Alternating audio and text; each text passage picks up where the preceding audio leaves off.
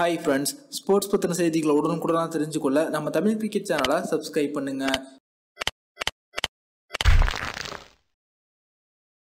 நாம இப்போ இந்த வீடியோவில் பார்த்தீங்கன்னா இந்தியா மற்றும் நியூசிலாந்து அணிகளுக்கு இடையேயான முதல் ஒருநாள் போட்டி முடிவடைந்த பிறகு செய்தியாளர்கள் சந்திப்பில் கலந்து கொண்ட இந்திய அணியின் கேப்டனான விராட் கோலி அவர்கள் இனிமே தான் எங்களுடைய ஆக்ரோஷமான ஆட்டத்தை பார்ப்பீங்க.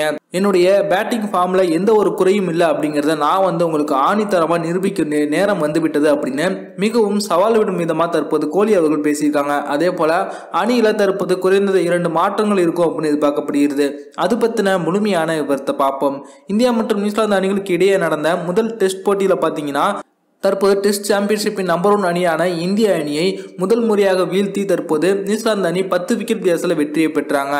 அதுலேயும் இந்திய அணியின் கேப்டனான விராட் கோலி பார்த்தீங்கன்னா தற்போது நியூசிலாந்து அணிக்கு எதிரான தொடரில் சிறப்பாகவே விளையாடவில்லை. ஒரு நாள் டி டுவெண்ட்டி அப்படின்னு இரண்டு தொடர்களிலுமே அவங்க சொதப்ப தற்போது முதல் டெஸ்ட் போட்டியிலையுமே இரண்டு இன்னிங்ஸ்லையுமே சேர்த்து இருபத்தி ஒரு ரன்களை மட்டுமே எடுத்திருக்காங்க. இவங்களுடைய பேட்டிங் ஃபார்ம் சரியாக இல்லாத காரணத்தினால தான் இந்திய அணி தோல்வியை தழுவுது அப்படின்ற ஒரு குற்றச்சாட்டு முன்வைக்கப்படுகிறது. இந்த போட்டியில் பார்த்தீங்கன்னா இந்திய அணியின் பேட்டிங் மற்றும் பவுலிங் இவை இரண்டுமே சரியில்லை அப்படின்னு சொல்லலாம். பேட்டிங்கில் மயங்க் அகர்வால் ஓரளவு சிறப்பாக விளையாடினாங்க. அனுபவ வீரரான அஜிங்கே ரஹானேவும் நல்லா விளையாடினாங்க. மற்றபடி நட்சத்திர வீரரான கோலி புஜாரா ஆகியோர் கூட சொற்ப ரன்களிலே வெளியேறிட்டாங்க. பிருத்திவி ஷா ரிஷப் பண்ட் அனுமா விகார் யாருமே சரியாக விளையாடல. பவுலிங்கிலும் இந்திய அணி பெரிய அளவில் செயல்படல. இஷாந்த் சர்மா மட்டும் முதல் இன்னிங்ஸில் ஐந்து விக்கெட்டுகளை வீழ்த்தினாங்க. பும்ரா ஷமி என இரண்டு பேருமே வந்து ஏமாற்றம் அளிச்சிட்டாங்க.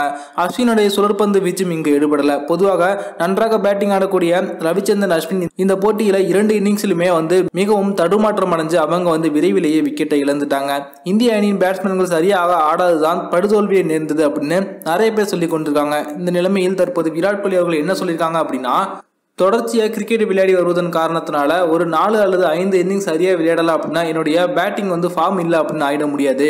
வெளியில் இருப்பவர்கள் என்ன சொல்கிறாங்களோ அதற்கு ஏற்றவாறு நான் நடந்தேன் அப்படின்னா நானும் வந்து அணிக்கு வெளியே தான் இருக்க முடியும். என்னுடைய பேட்டிங்கில் எந்த ஒரு குறையும் இல்லை அப்படிங்கிறது எனக்கு வந்து தெரியும். அதே போல் விரைவிலேயே என் மீது இருக்கக்கூடிய விமர்சனங்களுக்கு நான் சரியான பதிலடியை கொடுப்பேன்.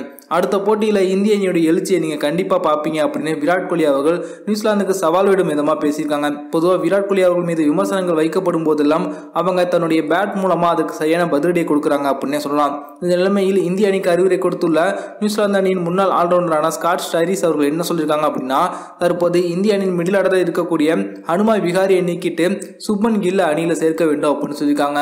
சுப்மன் கில் இந்தியா ஏ அணிக்காக நியூசிலாந்து ஏ அணிக்கு எதிராக விளையாடும் போது அவங்க வந்து சதம் அடித்தாங்க அவங்களுடைய பேட்டிங் ஸ்டைல் மிகவும் அற்புதமாக இருக்குது அப்படி இல்லைன்னா பிருத்திவி ஷாவை நீக்கிவிட்டு சுபன் கில்ல துவக்க வீரராக கூட களமிறக்கலாம் அப்படின்னு தற்போது ஸ்காட் ஸ்டைரிஸ் இந்திய அணிக்கு அறிவுரை கொடுத்துருக்காங்க. அதே போல சுழற்பந்து வீச்சில் ரவிச்சந்திரன் அஸ்வினுடைய பேட்டிங் மற்றும் பவுலிங் இரண்டுமே வந்து எடுப்படல ஆனால் ரவீந்திர ஜடேஜா சுழற்பந்து வீச்சு பேட்டிங் அப்படின்னு இரண்டுலையுமே வந்து சிறப்பாக செயல்படக்கூடிய வீரர். அதனால அஸ்வினுக்கு பதில் ரவீந்திர ஜடேஜாவை களமிறக்கலாம் அப்படின்னு ஐடியா கொடுத்துருக்காங்க. இந்த மாற்றங்களை எல்லாம் செஞ்சு விராட் கோலி அவர்கள் சொல்வது போல ஒரு எழுச்சிமிகு அணியாக இரண்டாவது போட்டியில் இந்திய அணி களமிறங்குவாங்க அப்படின்னு எதிர்பார்க்கப்படுகிறது.